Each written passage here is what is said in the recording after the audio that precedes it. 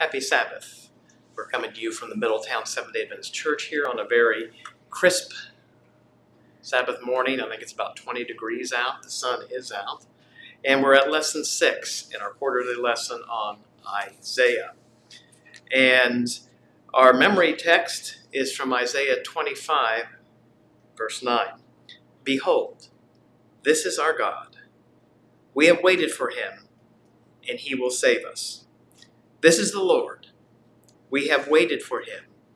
We will be glad and rejoice in his salvation. The opening paragraph on Saturday uh, has a very interesting, funny little illustration I'd like to begin. After a minister had preached a searching sermon on pride, a woman who had heard the sermon waited for him and told him that she was in much distress of mind, that she would like to confess a great sin. The minister asked her what the sin was. She answered, quote, The sin of pride. For I sat for an hour before my mirror some days ago, admiring my beauty. Oh, responded the minister, that was not a sin of pride. That was a sin of imagination. Ever since, sin was born in the heart of a mighty angel. Pride has not respected the boundaries of reality in angels or in people. Nowhere is this problem seen worse than those who harbor spiritual pride. Let's take a look at the origin of pride and self exaltation. You know, the two great um, competing traits that are fought over throughout the Bible and through each one of us is the battle between pride and the battle between humility. Spiritual pride and spiritual humility. One writer said, Humility is the root of every virtue, while pride is the root of every sin. And we know that. It goes back even before the beginning in heaven with Lucifer and his pride. And we're going to talk about that here later. Let's go to Sunday's lesson Doom on the Nations. Doom on the Nations. And this lesson study is going to look at Israel, the nation of Israel, the northern, but particularly where Isaiah was from, the southern kingdom, Judah, and how pagan nations were going to carry out God's judgment. We know that because God chose Nebuchadnezzar as his instrument of righteousness and judgment on the fallen southern kingdom. He also used the Assyrian king, several Assyrian kings, to bring judgment upon the northern kingdom, Israel. And this happened about a hundred years before the fall of Jerusalem in the southern kingdom. So God can use pagan kings and pagan nations to carry out his will. And that is what, hap- what is happening here. If you'll turn to Isaiah 13, and I particularly want to look at verses 3 through 5. This is a prophecy against the nations that begins with Babylon. And so Babylon is going to be judged by the Medes and the Persians, just as God used Babylon to judge the southern kingdom of Judah. Verses 3, 4, and 5. I have commanded my consecrated ones. I even called my mighty warriors, my proudly exulting ones, to execute my anger. A sound of tumult on the mountains, like that of many people, a sound of the uproar of kingdoms, of nations gathered together. The Lord of hosts is mustering an army for battle. They are coming from a far country, from the farthest horizons, the Lord and his instruments of indignation to destroy the whole land. Now, of course, this is the oracle against Babylon. And as we continue with it, if we go down to verse 17 through 22, it continues how God is going to raise up the Medes and also the Persians to bring down the greatest empire the world had seen at that time. Again, Isaiah 13, verses 17 through 22. Behold, I am going to stir up the Medes against them, who will not value silver or take pleasure in gold. And their bows will mow down the young men. They will not even have compassion on the fruit of the womb. Nor will their children, will their eye pity children. And Babylon, the beauty of kingdoms, the glory of the Chaldeans' pride, will be as when God overthrew Sodom and Gomorrah. It will never be inhabited or lived in from generation to generation, nor will the Arab pitch his tent there, nor will shepherds make their flocks lie down there. But desert creatures will lie down there, and their houses will be full of owls.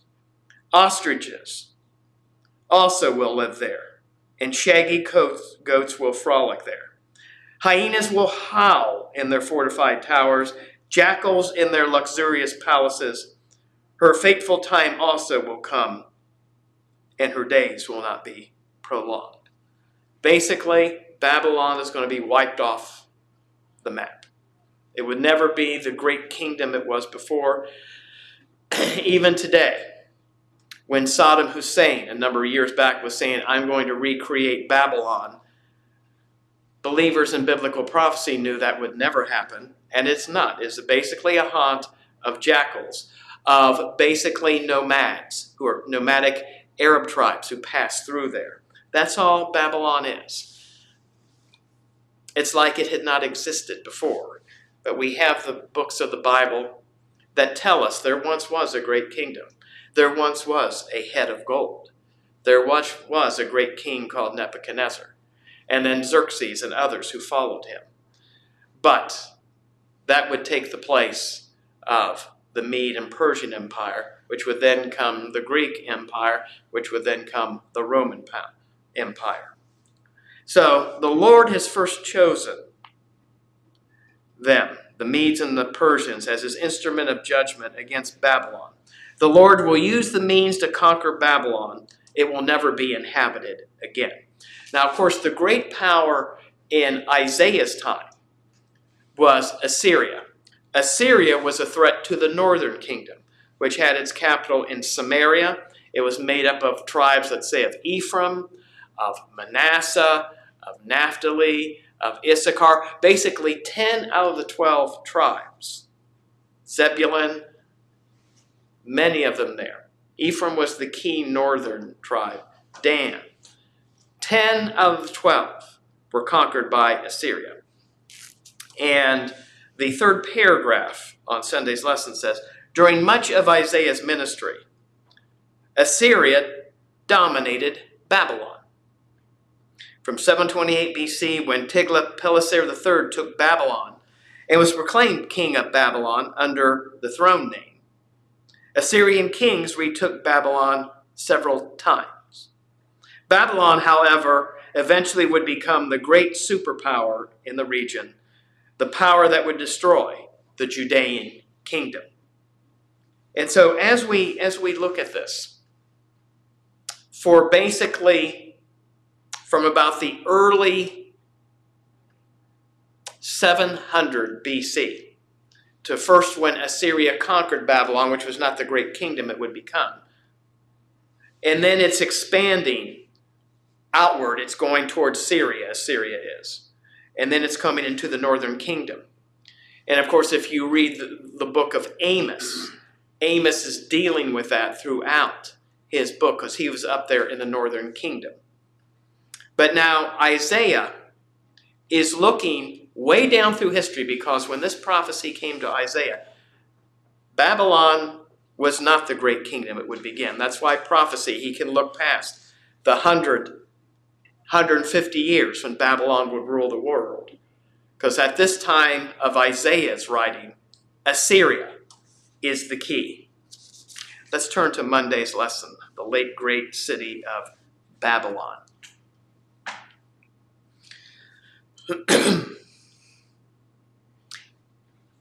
In 626 BC, the Chaldean Nabopolassar restored Babylonian glory by making himself king in Babylon, beginning the Neo Babylonian dynasty and participating with Media in the defeat of Assyria.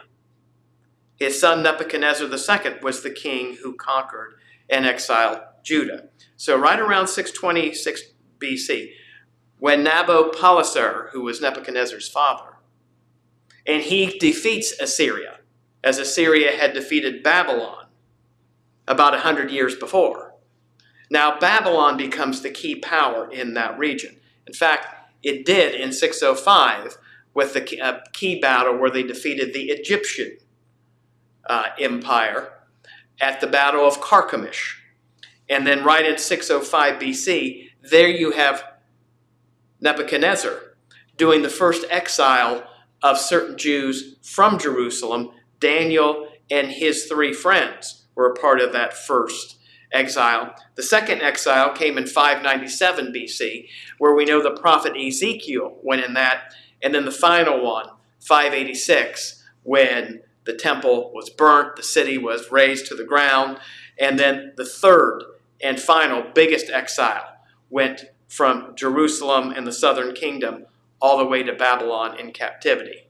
Those who were left, and there were those who were left, uh, intermarried with the people of the territory, with the Canaanites. Some of them became the descendants of what we now know today as the Samaritan people, up in the northern part of the northern kingdom of Israel. And of course, then you had the Samaritans, they had the Samaritan Bible, which had just the first five books of the Bible, Torah. That were the five books that they followed. How did the city of Babylon finally end? Let's look at Isaiah 14, verses 1 through 2. When the Lord will have compassion on Jacob and again choose Israel and settle them in their own land, then strangers will join them and attach themselves to the house of Jacob. The peoples will take them along and bring them to their place, and the house of Israel will possess them as an inheritance in the land of the Lord. As male servants and female servants, and they will take their captors captive and will rule over their oppressors. And of course, one of the things as we look at is that God had a chosen instrument in King Cyrus of Persia. Cyrus would be his instrument in overthrowing Babylon in 539 BC. When Cyrus went underneath the town through the aqueducts, through the uh, through the through the uh, un- underneath where, where the water was, and they caught Babylon on that night, completely unawares. In fact, if you want to keep your place, let's take a look at Daniel chapter 5. Who are you talking to? Daniel chapter 5, verses 5, 1 through 2.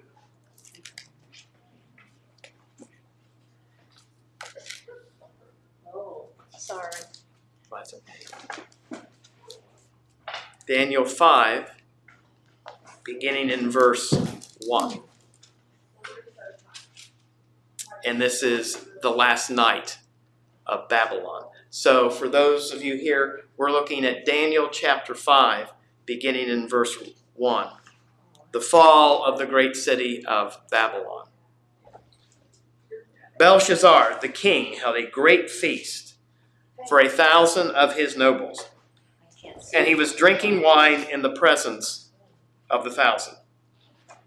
When Belshazzar tasted the wine, he gave orders to bring the gold and silver vessels, which Nebuchadnezzar his father had taken out of the temple, which was in Jerusalem, so that the king and his nobles, his wives and his concubines, might drink from them.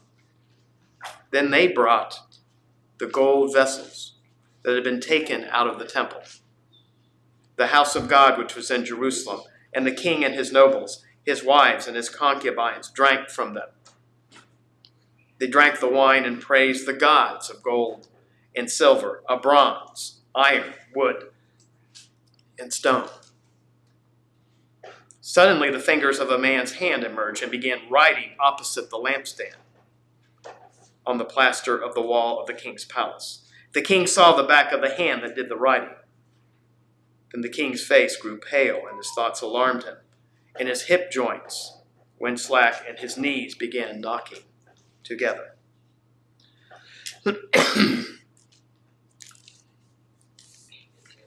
Belshazzar,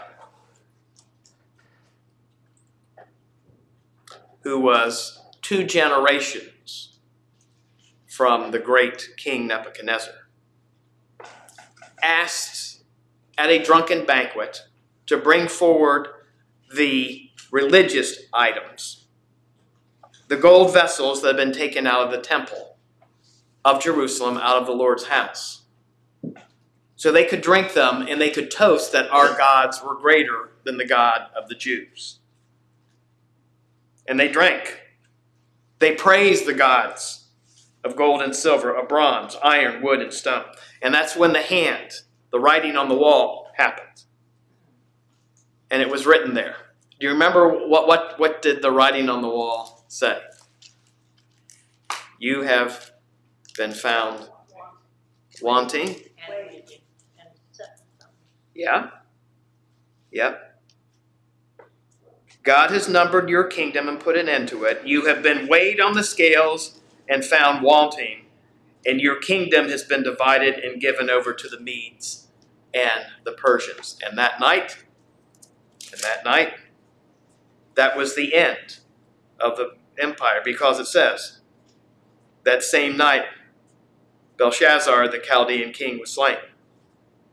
So Darius the Mede received the kingdom at about the age of 62.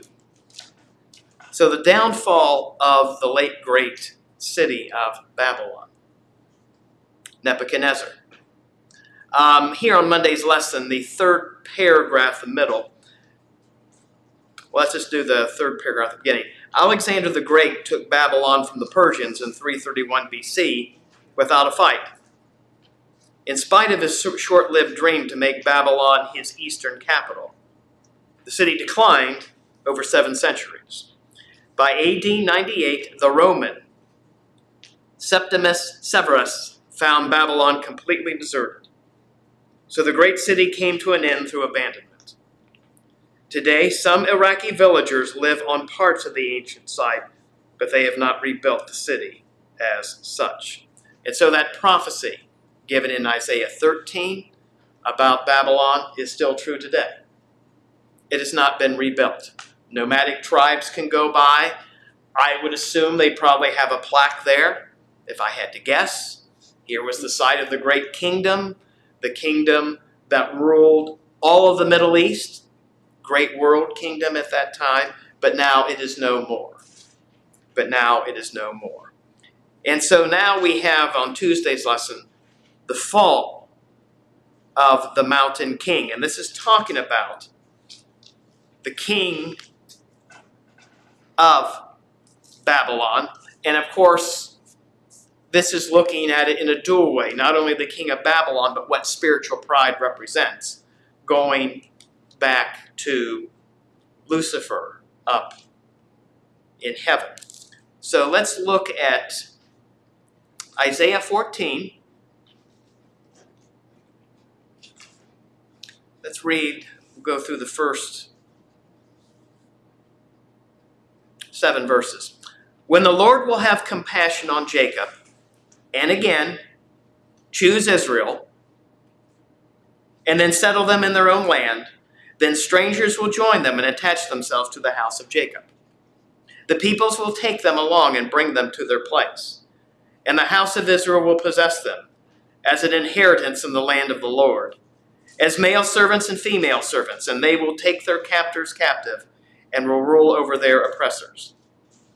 It will be in that day when the Lord gives you rest from your pain and turmoil and harsh service in which you have been enslaved, that you will take up this taunt against the king of Babylon and say, How the oppressor has ceased, and how fury has ceased. The Lord has broken the staff of the wicked, the scepter of rulers, which used to strike the peoples in fury with unceasing strokes, which subdued the nations in anger and with unrestrained persecution. The whole earth is at rest and is at quiet. They break forth into shouts of joy. The whole earth rejoices with the fall of Babylon. All the peoples that had been conquered, all their riches, all their great palaces are now on the decline, and soon they will be no more. In fact, you can see some of some of the lions on walls of the palaces in Berlin, Germany. I actually went there. And you can see it up on a wall. It's like the lion, which was the lion of symbol of Babylon. You can see that um, in the museum there. But that's about all it is. People can come, they can study it, but it's no more. There's no city of Babylon. They probably have a few plaques. You'll have a few nomadic Arab tribes going through, but yeah, it is no more. It's it's basically out in the desert, and I'm sure many people go there to look at it. But it's like going to look at a grave. That's all it is. It's all it is. In fact, um, Dave can are are you are you who who's in uh, Isaiah chapter 14? Okay, Chris. I need your I need your preaching voice now.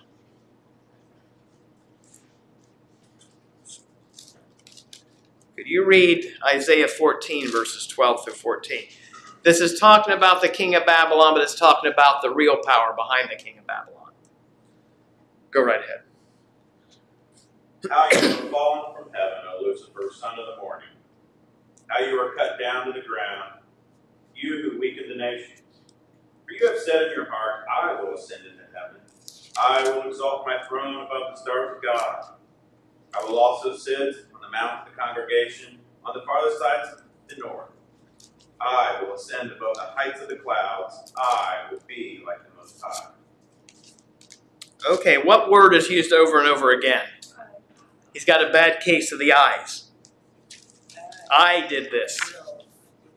I did that. You can always tell uh, people that have pride. They use I a lot. They don't use I if there's a problem. It's you.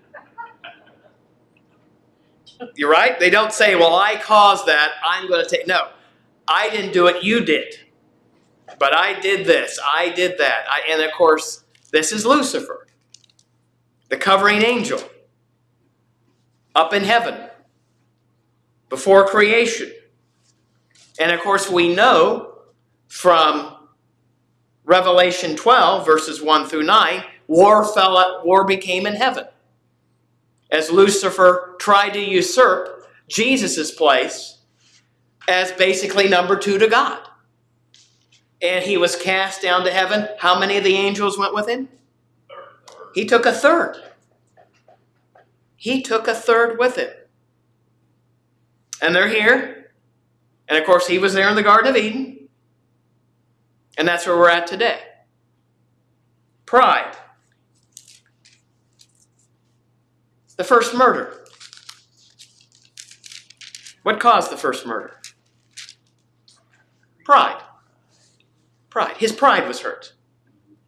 Little brother's sacrifice was accepted, Cain's was not. His pride was hurt. He was embarrassed.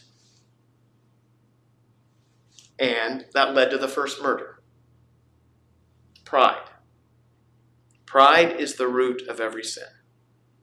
Humility is the root of every virtue. This is really what the great controversy is about here. And we see this here in these verses. Verse 13 You have said in your heart, I will ascend to heaven. I will raise my throne above the stars of God, and I will sit in the mount of the assembly in the recesses of the north. I will ascend above the heights of the clouds. I will make myself like the Most High. So, in fact, In Ezekiel, verses 28, Ezekiel 28, verses 14 through 16, we get another view of this.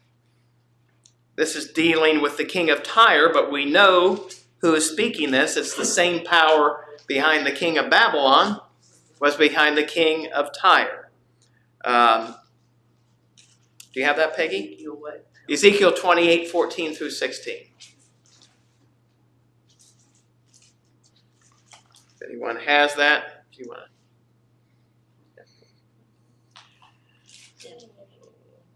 Twenty, fourteen, Through 16. sixteen.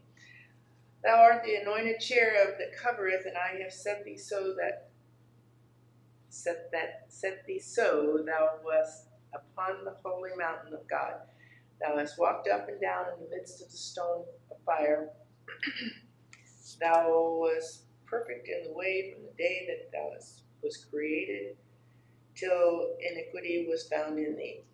By the multi- multitude of the merchandise they have filled the midst of thee with violence, and thou hast sinned. Therefore I will cast thee as prone out of the mountain of God, and I will destroy thee, O come, O covered cherub from the midst of the stone of fire. Okay. Okay, so what's that mean? So he's basically number three in the kingdom. He was the anointed cherub. It talks about he was beautiful, but he was jealous of Christ. He wanted to be sitting next to the Father right there in the assembly of God. And that wasn't going to happen. That wasn't going to happen. And so, again, Lucifer's down here on earth, and he's working, isn't he? 24 7. He's a hard worker. He puts in the he puts in the hours. Tell him to be good about it. He's not lazy. That's right. He's not lazy. If, if only he were. Because he wants to make he wants to take as many people with him with him into the lake of fire. And that will help his pride. Look how many people I took with me. I mean, he took a third of the angels. These, these were perfect beings, right? They were created perfect. Adam and Eve, they were created perfect. So, I mean, we're fallen. You know, we get old and we die. That's that's a result of sin. Um, one, two, the third paragraph on Tuesday's lesson. As in Isaiah 14, Ezekiel 28 identifies heaven daring arrogance with the ruler of a city. Here also, the description goes beyond that of an earthly monarch, and God's crosshairs come into sharper focus. The proud potentate was in the Garden of Eden, an anointed covering or guardian cherub on God's holy mountain, perfect from the day he was created until sin was found in him, cast out by God, and will eventually be destroyed with fire. Applied to any human being, the specific terms of this rhetoric are so figurative as to be meaningless. But Revelation 12, 7 through 9, does tell of a mighty being who was cast out of heaven with his angels, Satan, the deceiver of the whole world, who deceived Eve in Eden. So again, pride, the fall of pride. Before pride cometh the fall, right? Before pride cometh the fall. If we look down at the box, what is the opposite of this? What is the opposite of Lucifer there in Isaiah 14 and also in Ezekiel 18? If you go to Philippians chapter 2, verses 5 through 8, we have the exact opposite of spiritual pride. The exact opposite.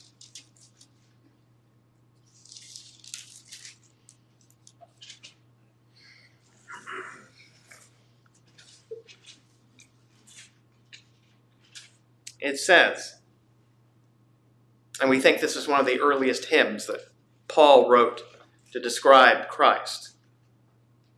Have this attitude in yourselves, which was also in Christ Jesus, who, although he existed in the form of God, did not regard equality with God a thing to be grasped, but emptied himself, taking the form of a bondservant and being made in the likeness of men. Being found in appearance as a man, he humbled himself by becoming obedient to the point of death, even death on a cross. And then let me just read 9. For this reason also God highly exalted him and bestowed on him the name which is above every other name. So, here we have the opposite. Lucifer wanted to ascend. Said, I want to ascend to be the most high. He wanted to go up. Here in Paul, Christ already was the most high. He went down, right? He, he descended. You have the descent. He gave up some of his divine attributes to come down here, where he would have fear, anxiety. The sweat would pour off him like blood, disappointment, all kinds of things you and I have to share. He emptied himself and he came all the way down here to live with us, not as a king, but as a poor little baby in a poor family. Yes, Chris. Ellen White writes that even um, Satan, as he looked upon Jesus as a baby, marveled at how Jesus brought himself down this low to meet us. Yes. Even Satan marveled. And that was, Satan was smart enough, he knew this was a problem. It would have been better if he just came down and said, I am king, you're going to all listen to me, you're going to bring me all kinds of treasures and that, and if you don't do it right, boom, you're out of here. But he didn't. He came down, he died the most humiliating death, the death on the cross. And then, because of that, because of the descent, because of the humility, because of the humiliating death, descent, humiliation, he now ascended back on high, exalted by everyone. So basically, the way to exaltation goes from the descent, hum- humility, sometimes humiliation, and then comes the exaltation. That's the way it goes. Satan did not want that. Most of us don't want that either. Most of us do not want that either. And it depends how we deal with it. Most of us, you know, I don't, you know, hey, drop me down as far as I can go. Hey, humiliation, more, even the better in that. And it just shows what Christ had to undergo so that you and I could have the gift of salvation for him. He totally rejected the prideful model. And we know that because we cannot say, through my own deeds I am saved. We can't. That's Satan, right? Through, now, Christ in me, working in me, burying the old man of sin and death, can do great things. I won't be perfect. I'm not going to be perfect till I get a new perfect body at the resurrection, but he can work great things. He can change us oh, because he needs us to be his witnesses to other imperfect people. And so, when you witness to someone, you put the pride away, saying, "Oh yeah, I, uh, I no longer hit the bottle like I did, like you did, pal. I did it on my own. I'm tough." No, that's not going to get your friend off the bottle. That's not. There is a greater power. That, that, that's why probably the best self-help group ever was Alcoholics Anonymous, AA, because they said there is there's a, only a higher power that can get me through this. And when you have to go in, in there and stand in front of everyone and said, you know, my name is Fritz, I'm an alcoholic. You know, basically, it's not like, hey, I'm, I, I've made it. There's the humility. And you do that because there might be someone out there. This is their first meeting. And they need that. And that's why then you'll have a buddy. You'll have someone that, hey, I fell, I took a drink, you know, and then you're there. You see, if it was based on you got to get tough, you, you know, only the tough overcome this disease, it wouldn't work. But when you come up and say, my name is, you know, I'm a judge or I'm a congressman, oh, and by the way, I'm also an alcoholic. That's, that, that, that's how it works. Um, uh, my, my dad, who was on the bench, uh, he had a close friend, I'm not going to say who it was or whatever. Um, th- this, this person was also on the bench, and he was a recovering alcoholic. And he, he, he never talked about it, but dad said, I always knew where he was every Thursday night. He was at the meetings. And he had been dry for 20, 25 years. He found Christ, he was an elder in his church. But he, my dad said, after he died, he said, I always knew where he would be every Thursday night. Don't call. He would be there. And because helping others strengthens your own your own walk. And again, it's based on humility and belief in a higher power. Uh, Wednesday's lesson, Heaven's Gate. Heaven's Gate. In Isaiah 14, a taunt against Satan, the fallen day star, the son of dawn, is blended into a taunt against the king of Babylon. Why? Compare Revelation 12, 1 through 9, where a dragon, identified as Satan, tries to destroy a child as soon as it is born. In Revelation 12, 5, the child clearly is Christ. But it was King Herod who tried to kill Jesus as a young child. The dragon is both Satan and the Roman power represented by Herod, because Satan works through human agents. Similarly, Satan was the power behind the king of Babylon and the prince of Tyre. And of course, after pagan Rome fell, you had the second phase of Roman rule. What phase was that? Not pagan Rome, papal Rome. The medieval, the, the medieval church, where, where you had indulgences, you had prayers to dead people, and that you had the changing of the Ten Commandments. Uh, you, you, had, you had all of that. And so you have a mixture of political and religious power. That's why it's always dangerous when churches get too deep into politics. It never goes well. You can stand for key issues. We need to do that. I mean, the civil rights movement was the backbone was the Christian church. But you don't want to begin getting mixed up because once you do that, you're acting. You get you get pride.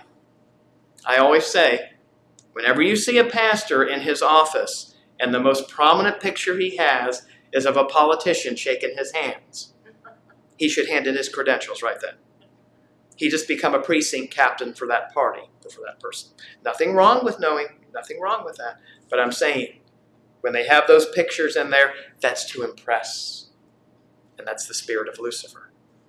Even if this man whose hand you're shaking is a good person or a woman, it means you have now thrown your lot in with a certain party or a certain person.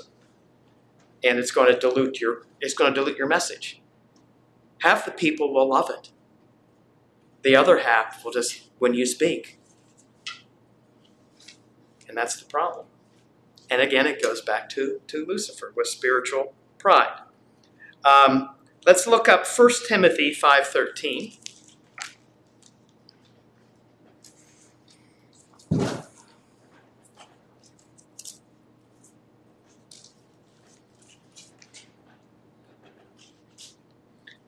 And this is uh, Peter is doing some farewells at the end of First Peter. He says, um, "She who is in Babylon, chosen together with you, sends you greetings, and so does my son Mark." Now, when this was written, we think probably around maybe in the 60 AD or something. Was Babylon existing then? Now, so what does Babylon refer to here, Peter? Probably first off here refers to pagan Rome at this time. I mean, pagan Rome is what killed Paul and crucified Peter. So at this time, Peter is looking at pagan Rome, the Roman Empire. Then after that, though, uh, let's look in Revelation 16, 19. Revelation 16, 19.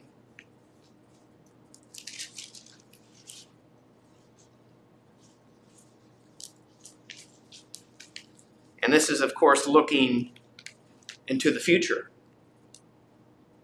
The great city was split into three parts, and the cities of the nations fell. Babylon the Great was remembered before God to give her the cup of the wine of her fierce wrath. And then to stay right there, Revelation 17 5, and on her forehead a name was written, a mystery. Babylon the Great, the mother of harlots and of the abominations of the earth. So, what is Babylon now in that pointing to? It's pointing to a kind of a religious political system. Shows, show, sows confusion. And because the empire of Babylon's gone. It's dealing with confusion. It's dealing with religious institutions, putting the Bible aside, putting human traditions in its place, and having them worship human beings than God. And so, in Peter's time, when you said Babylon, it meant pagan Rome. Now, it could refer not only, not only to papal Rome, but to all the organizations that mix truth and error. That is the supreme example. But, you know, confusion. I mean, if we begin doing that here, hey, guess what? I'm acting like Babylon. It's that simple. It's that simple. And so it is confusion. Um, the last paragraph before the green block says, The gate of heaven at Bethel and the gate of gods at Babylon. That's where that was. It was a gate. I was mentioning in German, in the German museum, it was the gate of Babylon, of Marduk, which was there. Um, now, getting back and the gate of the gods at Babylon were opposite ways to reach the divine realm. Jacob's ladder originated in heaven, revealed from above by God. But Babylon, with its towers and ziggurat temples, was built by human beings from the ground up. These opposite ways represent contrasting paths to salvation divinely initiated grace versus human works. All true religion is based on the humble Bethel model, for by grace you have been saved through faith. Romans 2 8 and 9. I mean, uh, Ephesians 2 8 and 9. All false religion, including legalism and secular humanism, is based on the proud Babylon model. Two ways. Two ways. And so while the empire of Babylon is gone, its ideas still reign because Satan was behind it. He's still behind here.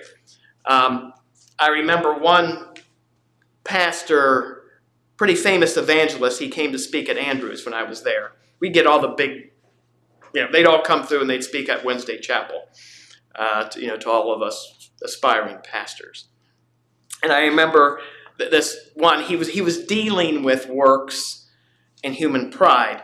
And he, and he said, I remember I was in this church and this guy came in on Sabbath morning. He was so happy. He said, I haven't sinned in a whole week. That guy just sinned, didn't he? Correct? Even if he did, and we don't know, Mrs. White said, there might be someone in this fallen human body could get pretty close, but that person would be the most humble. The most humble, the last one who would brag because that's only who will get the closest to God. And I'm sure this guy, I haven't sinned in a whole week. Good luck on that, pal. Because mainly it's not through actions, it's through the mind. That's what Jesus talks about in Sermon on the Mount. Most of us are not going to kill people. Most of us, most people do not go out and break the Ten Commandments. They don't. And that's where spiritual pride can come. I mean, the toughest one is the tenth one, coveting, because that's dealing with the mind, your motives. We all covet something.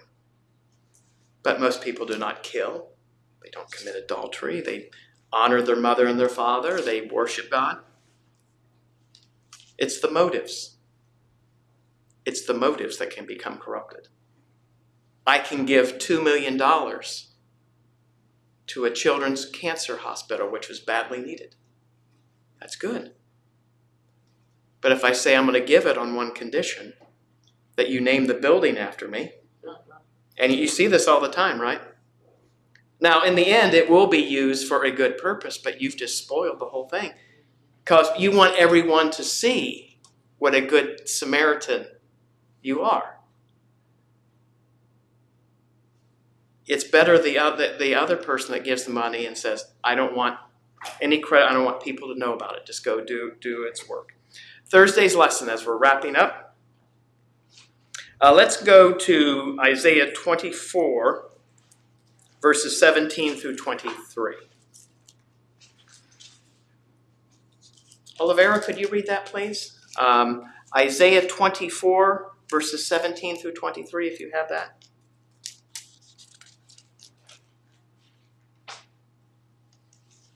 And this is dealing with the fate of the inhabitants of the earth on the day of the Lord, when there comes judgment on Satan and his minions. Go right ahead, Olivera.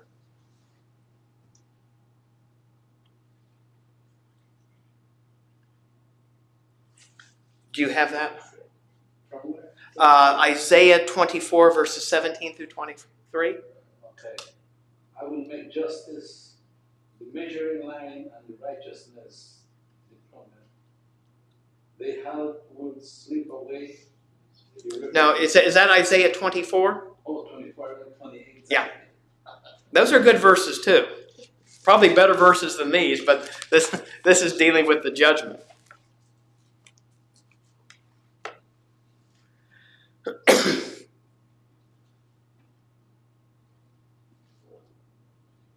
Fear and pit snare are upon you, O inhabitants of the earth. And it shall be that he will flee from the nose of fear, shall fall into the pit. And he who comes up from the midst of the pit shall be caught in the snare.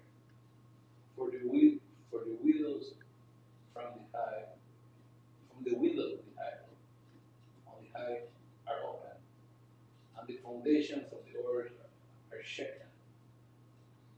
The earth is violently broken, and the earth is split open, split open. The earth is shaken exceedingly. The earth shall reel, reel and, and to and fro like a drunkard, and shall pucker like a hawk its transgression shall be heavily upon and it will fall and not rise again. It shall come to pass that in, in that day the Lord will punish on the high house of exile ones, and on the earth the king of the earth. They will be gathered together, as the, as prisoners are gathered in the pit, and and will be shut up in the prison. After after many days they will be punished. Then the moon will be disgraced, and the sun ashamed. For the Lord of hosts will reign on the mount of Zion in Jerusalem, and before his elders. Thank you.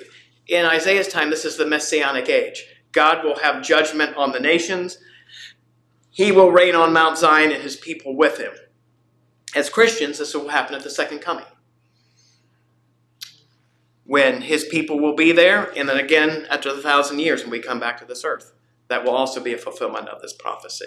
So, in the end, it is humility, not pride, that gets us closest to Jesus and allows us to witness for other peoples. Let us pray. Heavenly Father, I thank you for this very cold but sunny Sabbath morning, that we're able to come here and study your word as we look on the humility of Christ, the opposite of, of Lucifer. He descended, not ascended. He did it for us, and because of his great sacrifice of humility, he is now exalted at the right hand of God, and he will be coming home and taking his people to be with him very soon. Be with us and bless us at this time. In all these things we pray in Jesus' name. Amen. Thank you.